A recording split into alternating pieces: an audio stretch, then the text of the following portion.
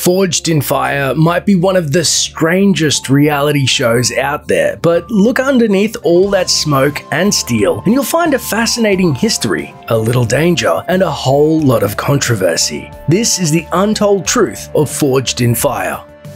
If you're wondering how someone comes up with the idea for a TV show like this, Wonder no more. You simply pay attention to your teenage kids. Tim Healy, head of programming and development at the History Channel, told Decider that the inspiration for Forged in Fire came from his 14 year old daughter's love of cooking competition shows such as Chopped. As anyone who's ever interacted with a 14 year old kid knows, connecting with them can be pretty challenging. So, to spend some time with her, Healy would sit and watch those culinary shows, and he began to wonder how he could do a cooking competition show of his own without having to include any cooking. He also knew from experience that whenever a reality show featured a weapon of some kind, the ratings went up. The idea eventually evolved towards bladed weapons specifically, but Healy stuck with his initial inspiration, structuring the format like a cooking show with new competitors every episode.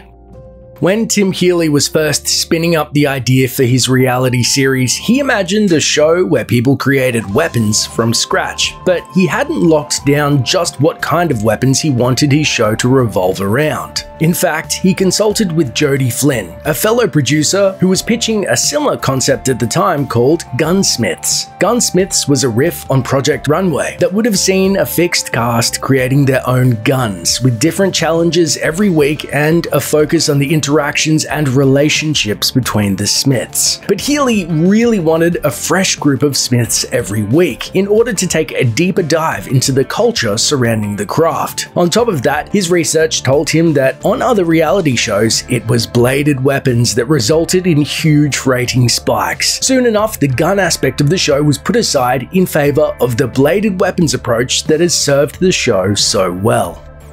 As either group will tell you, there's a big difference between being a weapons expert and being a bladesmith. And you might imagine that judging bladesmiths on their craft would require a considerable knowledge of smithing. Indeed, judges Jay Neilson, David Baker, and Ben Abbott have extensive and impressive blade making experience. Hosts Wil Willis and Doug Marcaida, however, came to the series with exactly zero bladesmithing knowledge. Willis is a former Army Ranger with a ton of experience using weapons of all sorts, and is an edged weapon expert, knife designer, and martial artist, so it's not like they don't have the knowledge to judge a finished weapon. Still, the producers must have been a little concerned about this lack of smithing expertise. Luckily, Willis had finally begun learning the basics of forging by the show's fourth season. Moreover, the History Channel even posted proof of Neilson teaching both Willis and Marcaida how to blade smiths, putting to rest any complaints that the Smiths competing on the show might not be getting the best judging experience. That looks good. Now it will cut. It takes a lot of skill to get cast on any show focused on a particular craft, and Forged in Fire is no different. After all, you can't just wander the local mall asking people if they want to come make a 12th century crusader sword. You need to find actual bladesmiths who have a shot at successfully making the weapons they're tasked with. Contestant Gabriel Mabry of Doberman Forge has detailed some of the steps he had to go through, including answering questions about metallurgy and doing both a preliminary preliminary interview and a background check. And contestant Dustin Perella told the Richland source that the induction process goes even further than that. After applying to be on the show and sitting for multiple interviews via phone and video, he had to actually forge a blade to the producer's specifications and submit photos of the finished product. And after all that, he still had to do a couple more interviews before being invited to compete on the show. Every week on Forged in Fire, four bladesmiths accept the challenge of making whatever weapon the show chooses, and the winner receives $10,000. That's pretty good money, even when you take the extreme effort involved into account, both in making the weapon and in getting on the show in the first place. But the three losing smiths get nothing, aside from a trip to New York City where the series is filmed, and the chance to be on TV, of course. And that's too bad, because the median salary for a bladesmith is is estimated to be about $31,000 with a low of $20,000, so most of these smiths could probably use that cash. Still, appearing on the show has other benefits. For example, Gabe Mabry told the Stanley News and Press that before being a contestant, his bladesmithing work was just a side hustle he did along with several other jobs, but after being on the show, he was able to begin bladesmithing full time. It's easy to imagine that making weapons comes with a few legal complications, and there are a lot of rumors swirling around about what happens to all those weapons after filming on Forged in Fire is finished. Many viewers note that weapons from past shows are often spotted hanging on the walls of the studio, and some have claimed that under New York state law, the weapons have to be classified as props and kept by the production company. In other words, according to the rumors, contestants don't get to keep the weapons they worked so hard for. That sounds reasonable, especially when you've got a bunch of people making something terrifying like a Moro kris. But according to reality TV writer Andy Dehnart, it's also 100% false. Dehnart actually spoke with a spokesperson for the show who clarified that while the winning weapon is kept on display on their winner's wall, everyone else gets their weapon back. The spokesperson said, As a symbol of our gratitude and out of respect for the amount of work put into the weapon, we return it to the creator.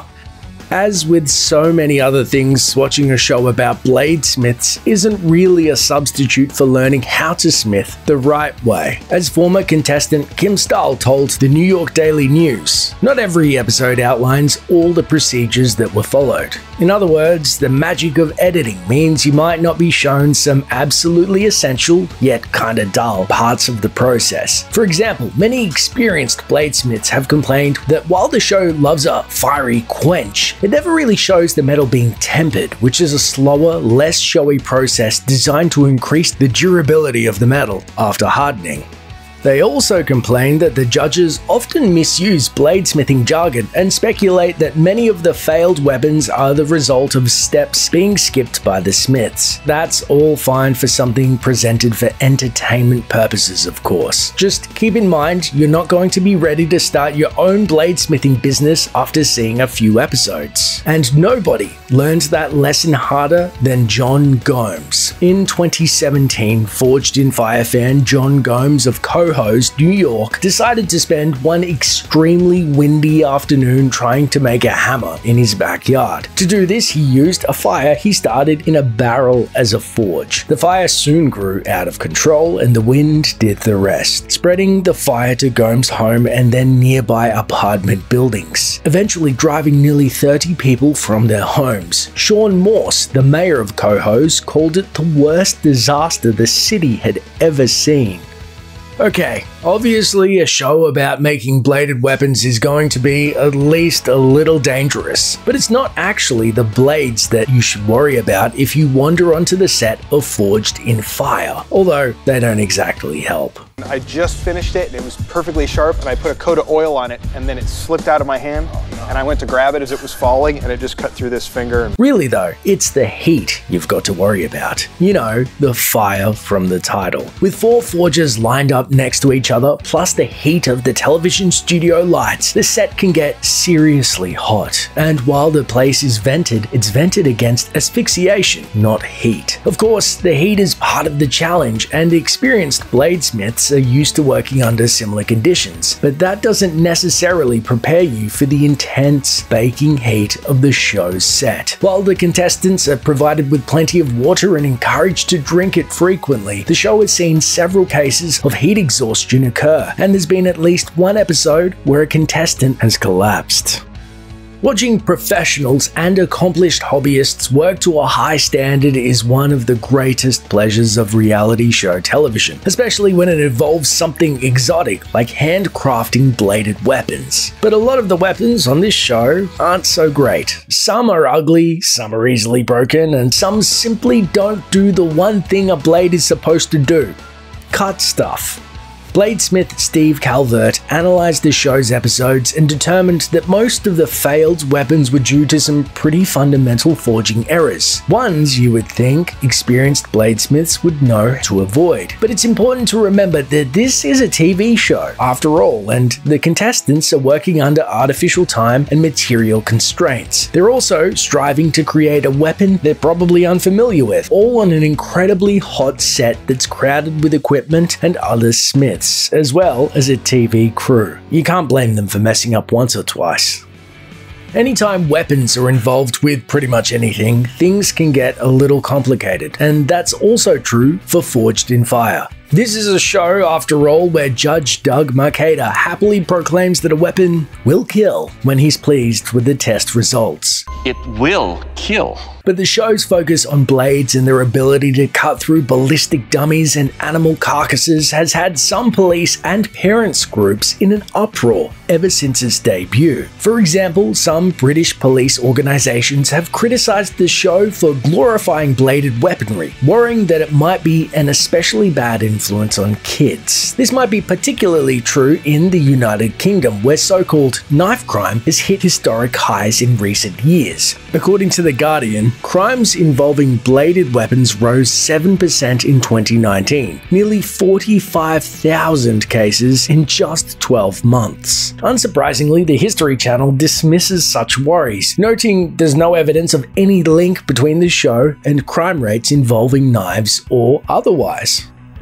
Bladesmithing has long been a male dominated field, an issue that has caused the show some difficulties of its own. Forged in Fire has been criticised for the lack of female representation, especially since the host and judges are exclusively male. The entire first season failed to feature a single woman as a contestant during its run. It's not entirely the show's fault, of course. There are only four female master bladesmiths in the country after all, and Audra Draper became the first female master bladesmith just 20 years ago. The show has made a real effort to increase the number of female smiths, however. Producer Tim Healy explained that in season 1, it was hard enough to find any bladesmiths willing to come on the show because it wasn't at all known to the general public. Since then, the show has managed to have several female smiths on, and a few have even won their episode and walked away with their $10,000 prize.